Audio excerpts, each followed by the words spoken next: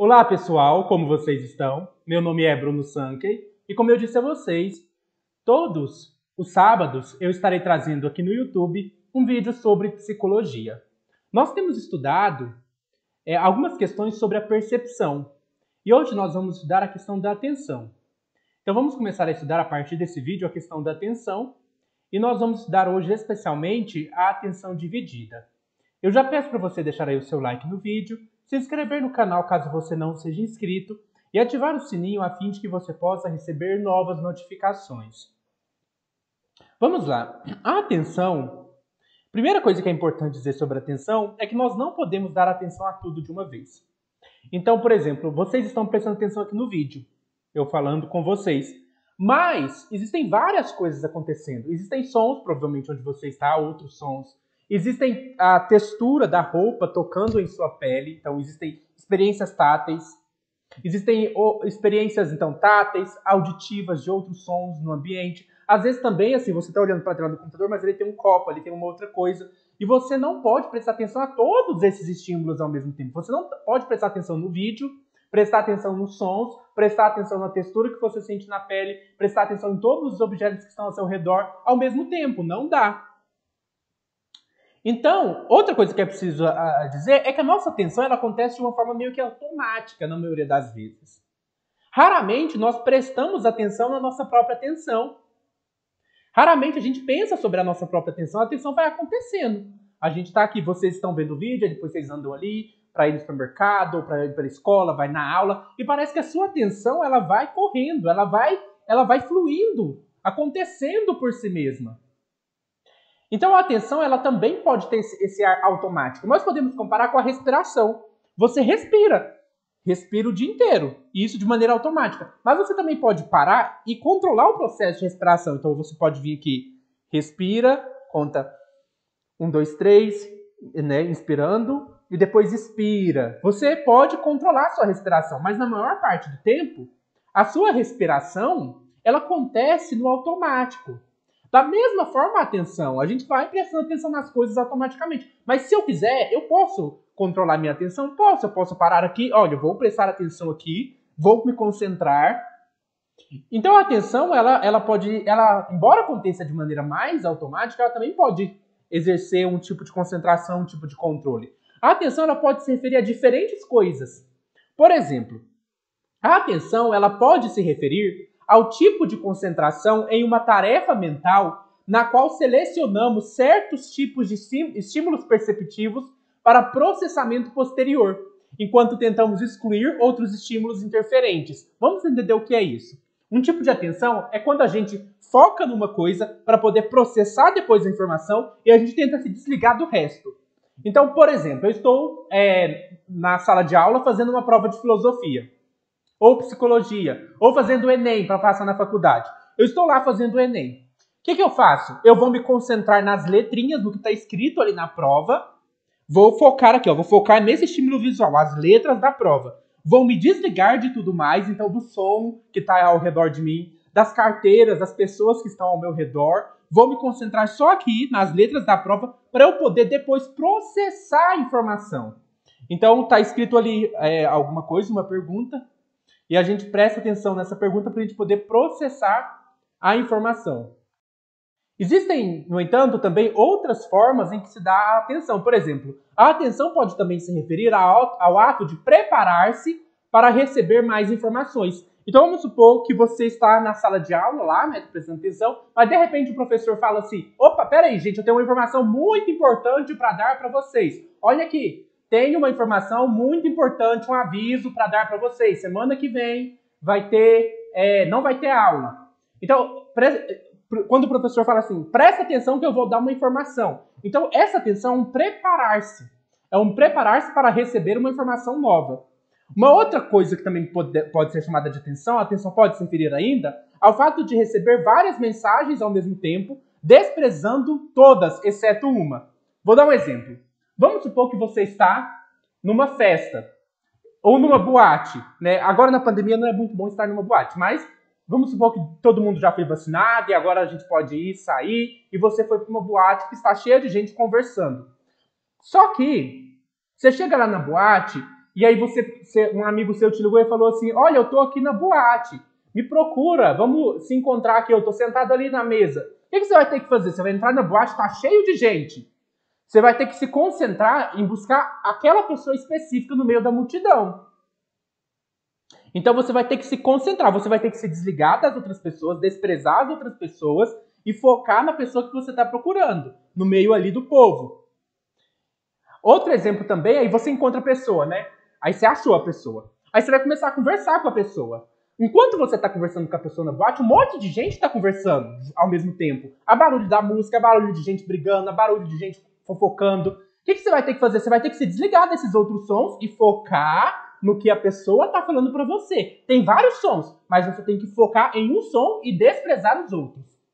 Então, é, é assim que funciona a atenção. Como que a gente pode definir, então, a atenção? A atenção ela pode ser definida como uma concentração de atividade mental. Então, o que é atenção? Se alguém perguntar o que é atenção, você vai dizer: atenção é uma concentração de atividade mental. E aí, na atenção, a gente pode pensar em processamento bottom-up e processamento top-down. O que é processamento bottom-up? É quando o estímulo externo chama sua atenção. Então, vem de fora para dentro. Então, vamos supor que você está aqui, né? E de repente tá chovendo. Aí deu um trovão, bum, fez um barulhão. Esse barulho lá fora, ele chamou sua atenção. Você na hora se concentrou para ouvir o barulho. Esse é um tipo de processamento bottom up, vem de baixo para cima, ou seja, vem de fora para dentro. Que é quando a gente concentra a nossa atividade mental, porque nossa atenção foi atraída por um estímulo interessante no ambiente. Da mesma maneira, você está na, na, na, boate, de repente alguém fala assim, por exemplo, a Sankey, quando alguém fala Sankey, já dá aquele efeito coquetel, né? Que, que, é chamado. Quer dizer assim, que mesmo um monte de gente conversando um monte de coisa, você, se falar seu nome, você na hora pega. Isso a gente chama de efeito coquetel. Tá, Sankey. E aí você vai, ah, tá me chamando. Esse estímulo lá fora me chamou a atenção. No entanto, a gente pode também ter o processamento top-down. O que é o processamento top-down? Ele vem de dentro para fora, ele vem de você, ele parte de você. Então, de novo, você chegando na boate, você chegou na boate assim, eu cheguei aqui na boate para procurar o José. Meu amigo José está aqui na boate. Eu vou me concentrar em procurar o José. Percebam que procurar o José vem primeiro de dentro para fora.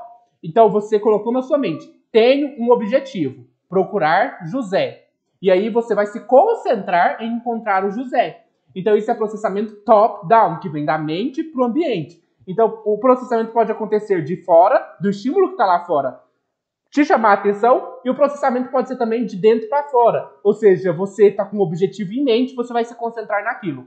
Quando vem de fora para dentro, a gente chama de bottom up. E quando vem de dentro para fora, a gente chama de top down. Nós também, é, agora, podemos trabalhar dois tipos de atenção. Existe a atenção dividida e existe a atenção seletiva. A atenção seletiva eu vou considerar no próximo vídeo. Nesse vídeo, nós vamos nos concentrar na atenção dividida. A atenção dividida é quando eu presto atenção a duas coisas ao mesmo tempo. Quando eu tento dividir a minha atenção entre duas coisas. Não façam isso, mas de exemplo. Suponhamos que você está dirigindo, mas você tem, tem compromissos importantes, você coloca o seu celular ali ao mesmo tempo, você está dirigindo e mexendo no celular. Isso é atenção dividida. Dirigir e mexer o celular no mesmo tempo. A atenção dividida ela pode fazer vários problemas, né? Você está dirigindo, mexendo no celular, a chance de você sofrer um acidente é muito maior.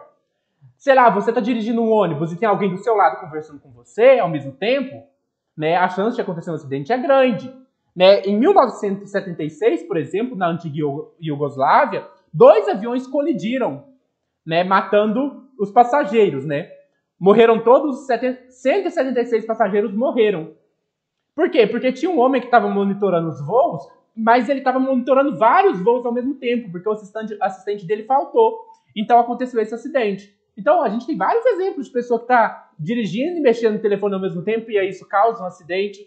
Isso significa que, embora os seres humanos sejam extremamente competentes em suas atividades mentais e cognitivas, eles não conseguem prestar atenção a tudo ao mesmo tempo. E aí várias pesquisas foram feitas para entender a atenção dividida. Será que a gente consegue prestar atenção em duas coisas ao mesmo tempo? Então, estudos foram feitos para tentar entender isso. Por exemplo, foi feito um estudo que a gente apresenta um objeto para a pessoa. Então, a gente apresenta um objeto, Só que a gente, aí a gente pede a pessoa para dar duas informações sobre o objeto. Pergunta que objeto é esse e qual lugar esse objeto está. Então vamos supor que eu apresento uma imagem onde tem um copo em cima de uma mesa. E aí eu pergunto para a pessoa duas informações. Me diga que objeto é e onde ele está. Então são duas coisas que a pessoa precisa prestar atenção. Qual objeto é, onde o objeto se encontra. E estudos assim mostraram que as pessoas têm uma certa até facilidade de identificar. Ah, o objeto é um copo e ele está em cima da mesa. No entanto, quando se trabalha com dois objetos diferentes, aí a coisa muda de linguagem, né? A, a, a muda de forma, o cenário muda. Então, assim, eles, as pessoas, quando você pegava dois objetos, tinha um copo e tinha uma taça, um copo e uma taça. E aí você tinha que prestar atenção nos dois ao mesmo tempo, né? Ou melhor, quando a gente pega dois objetos mais diferentes, talvez um copo e um balde, você tinha que prestar atenção nos dois objetos, onde eles estavam situados, que objetos eram. Quando você aumentava a dificuldade da tarefa, as pessoas começavam a cometer erros. O que, que isso significa? Nosso sistema perceptivo pode lidar com algumas tarefas de atenção dividida, é possível. Mas, quanto mais exigente a tarefa, mais a gente comete erros e mais difícil será. Então, a, a, a gente tem uma certa dificuldade para dividir a nossa atenção. Mas algumas pesquisas mostraram também que com treinamento, com treinamento, isso pode melhorar. Então, se a pessoa ela já é treinada naquilo, por exemplo, ela costuma, costuma, todas as vezes ela costuma ouvir música ao mesmo tempo que estuda, ou ela costuma fazer duas coisas ao mesmo tempo, arrumar a casa e ouvir um podcast ao mesmo tempo. É, são duas tarefas, né? que a pessoa está tendo ao mesmo tempo. No entanto, é, se, se ela for treinando isso, se ela for experienciando isso, fazendo isso várias vezes, vai ficando mais fácil. Então, o treinamento, a prática, conduz à perfeição. Então, a, a atenção dividida, quando ela se torna um treinamento, né, a pessoa vai melhorando a sua habilidade. No entanto, né, embora o treinamento melhore a habilidade, a atenção dividida ainda é uma coisa muito difícil. Mesmo aquelas pessoas que são treinadas, elas podem cometer erros e ter uma certa dificuldade de manter a atenção entre duas coisas. Então, o que a gente pode dizer? A gente pode dizer assim, que a atenção dividida ela é possível em tarefas mais fáceis. Se você treina ela, você vai treinando ela, vai ficando mais fácil para você manter a atenção dividida. No entanto, com tarefas mais exigentes, é muito difícil manter a atenção dividida. Então é isso que a gente pode dizer sobre a atenção dividida. No próximo vídeo, nós estaremos considerando a atenção seletiva. Até mais!